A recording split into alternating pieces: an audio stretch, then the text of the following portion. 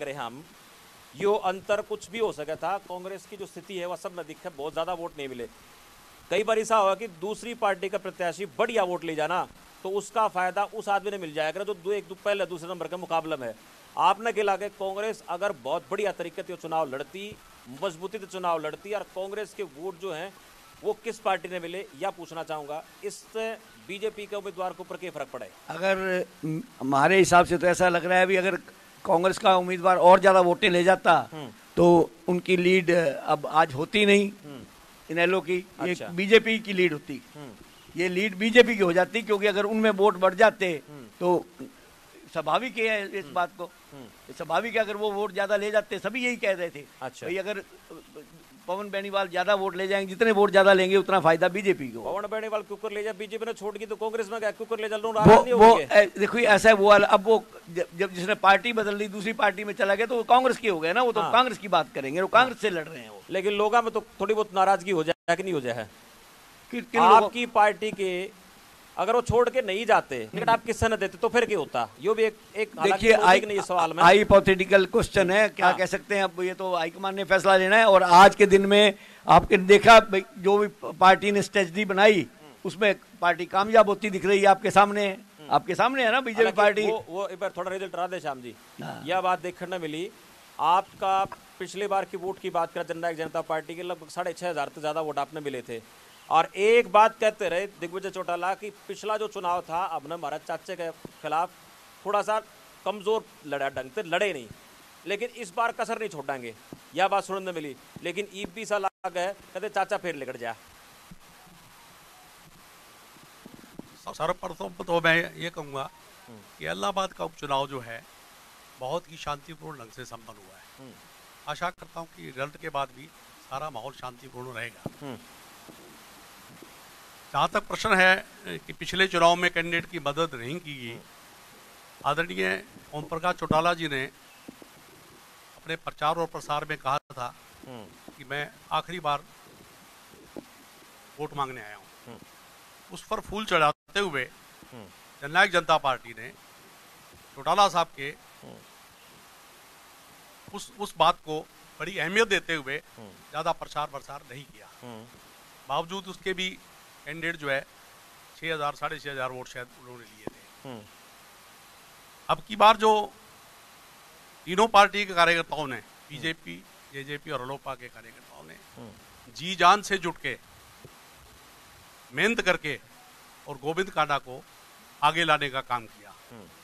जिस जिस बेल्ट में आईएनएलडी जीता करती थी उस बेल्ट में निश्चित रूप से आईएनएलडी पीछे रहेगी। ऐसा मेरा अनुमान है। मैं हर गाँव में हम गए हैं और विश्लेषण किया है कि जहाँ कभी पार्टी हारी नहीं थी, उन काफ़ी गाँवों में आज आईएनएलडी हार रही है। और नतीजा जो है, तीनों पार्टियों की मेहनत से, राष्ट्रीय अध्यक्ष अजय सिंह चौटाला जी की मेहनत से, ये निश्चित रूप से गोविंद कांडा के पक्ष में जाएगा। ऐसा मैं मानता हूँ।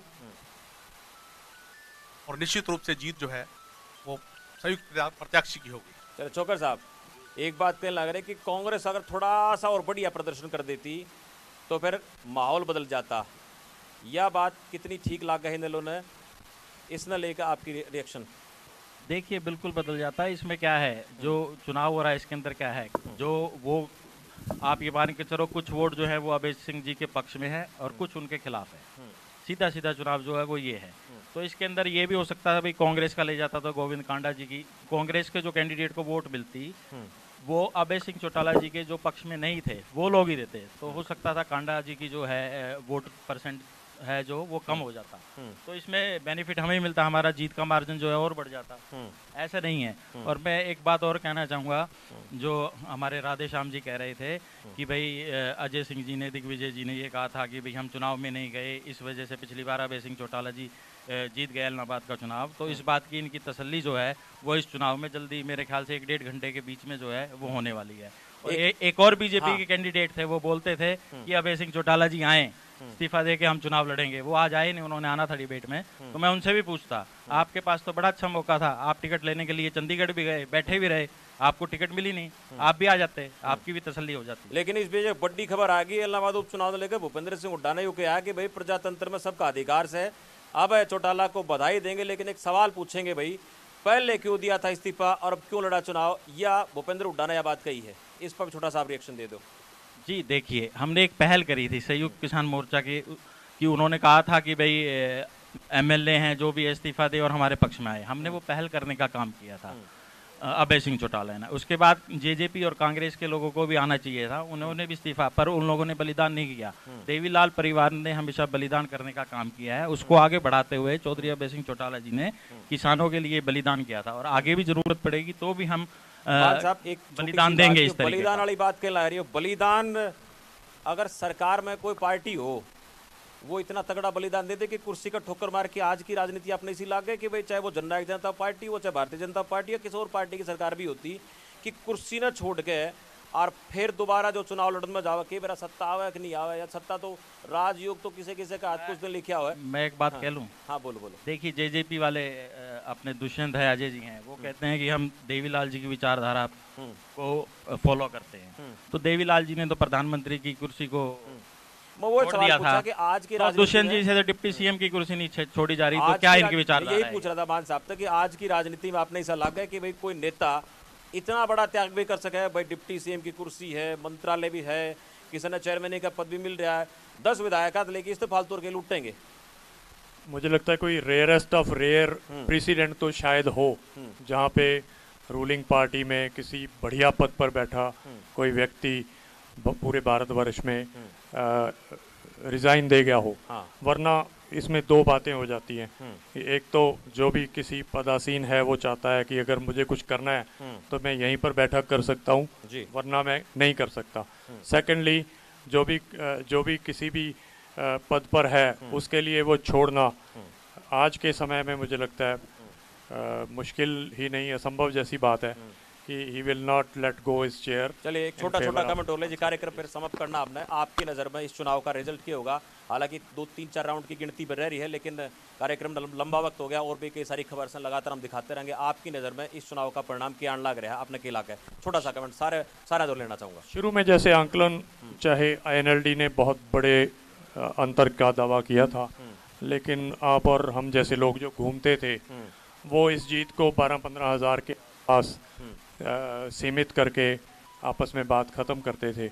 अब लगता है कि लीड कहीं उससे भी थोड़ी कम होने जा रही है। अगर वो जीत दर्ज करते हैं तो शायद कोई आठ नौ हज़ार के आसपास जाके रुक जाए क्योंकि थोड़े ही गाँव और थोड़े ही चरण बाकी हैं। जी बिल्कुल। शिवराज जी छोटा सा कमेंट आपका। इस चुनाव का रिज़ल्ट लेकर के कहोगे क्योंकि रिज़ल्ट थोड़ी देर में आ जाएगा लेकिन फिर भी थोड़ी सी बात कर लेनी चाहिए। मैं जी इंडियन नेशनल लोकदल के अपने साथी शोकर जी को बधाई देना चाहूँगा कि वो जीत की ओर अग्रसर हो रहे हैं। और इससे ये पता चलता है कि बीजेपी में इनको कोई और कैंडिडेट नहीं मिला। इन्होंने देखा कि जो सबसे बड़ा खरीदार है। कांग्रेस ने भी नहीं मिला। वो कांग्रेस अपनी जो इतना हाईकमान कैंडिडेट बताओ तो भरत बड़ी वाला टिकट ना दिया। आपने नाराज़ भी हो गए बेचारे के करें फिर वो दर्द हो गया कान में जो हाईकमान की तरफ़ से जो गलती हुई उसकी हम चलिए समर्थन छोटा सा कमेंट में आपसे लेना श्याम बजाज जी। रिज़ल्ट थोड़ी देर में आ जाएँगे लगभग एक घंटे में सारा साफ़ हो जाएगा लेकिन काफ़ी लंबा वक्त हो गया सूरज सर पर खड़ा है और किसी का गर्मी में थोड़ा बहुत दिक्कत होगी तो फिर मन आपने मारोगे कहते कित बैठा दिए लाके? हम्म। ऐसा छोटा सा कमेंट भी नहीं है आपने मौका दिया थोड़ा माइक ऊपर फिर माइक ऊपर। इतना कहेंगे रिज़ल्ट जो भी हो जो भी हो मतलब जो भी हो आप आप आप, आप देख रहे हो क्या आप देख रहे हो ना क्या हो रहा है? आप खुद तो देख रहे हो आठ? देखो आठ हज़ार से आठ- गेंद तक जो है ना हार नहीं मारना आठ तो हाँ, आठ हज़ार से चार हज़ार उनतालीस आ गया मार्जिन। हाँ। तो फिर आप देख लो कहा कहाँ से कुछ कुछ भी हो सकता है। वाह पर फिर वही मैं बड़ा वही बता रहा हूँ उनतालीस आप नहीं बोल रहे हैं उनतालीस कुछ वोट से हाँ, आगे है। बता रहा तो आगे आगे देखिए क्या होता है। ठीक है। जिस हिसाब से हमारे हमारे साथी जी, कह रहे हैं। राधे श्याम जी हाँ। ये सरकार जो है खूब नुक होके इकट्ठे होके लड़े और पाँच साल सरकार चलाने का दावा करो इस रिज़ल्ट के बाद क्या हाल होगा बता दो एक बार छोटा सा कमेंट दे दो फिर उसके बाद फिर खत्म कराएँगे छोकर जी तक जवाब लेंगे बस उसके बाद जितना जितना इलेक्शन आसान समझा जा रहा था जीत निश्चित बीस तीस हज़ार से है। हाँ।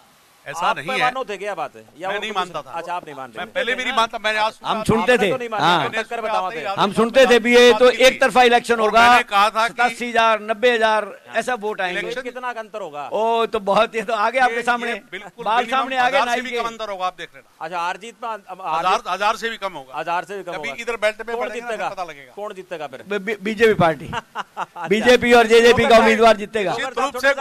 बीजेपी जीजेपी का उम्मीदवार जीतेगा। कोई भी जीत सके क्योंकि भाई एक गाँव में भी चार पाँच हज़ार वोट हो गए। शोकर साहब के दावा करो बाकी तो देखो जो धारणा है वो सब अपने अपने हिसाब से बनाओगे लेकिन एक कमेंट आपका भी उसके बाद कार्यक्रम खत्म कराएँगे।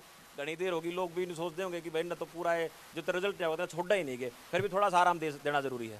देखिए शमशेर जी मैं जब से आया हूँ मैं तो धन्यवाद कर रहा हूँ एलनाबाद की जनता का और कांग्रेस के भाई ने भी हमें बधाई दे दी है। बाकी ये खुल के नहीं कह पा रहे हैं इन्होंने भी बातों बातों में हमें बधाई दे दी है जीत की। तो मैं ये कहना चाहूँगा कि जीत हमारी निश्चित है हम ये चुनाव जीत रहे हैं अभी आप कह रहे थे बीस हज़ार से जीतेंगे पंद्रह हज़ार जीतेंगे वो तो आ गया अच्छा। वो तो आ गया अभी काउंटिंग चल अभी रही है काउंटिंग चल रही है। है अभी है, कुछ भी हो सकता है अभी। मेरे भैया कुछ भी हो सकता है। आपका बहुत तो बहुत धन्यवाद आपका कुछ भी हो सकता है। आप कह क्यों नहीं रहे फिर खुल के। कहिए ना हम आपका भी जीत रहे हैं चुनाव अगर ये- गुरजीत मान जी आपका मुख्यमंत्री जी- कार्यक्रम हमारे- बहुत बहुत शुक्रिया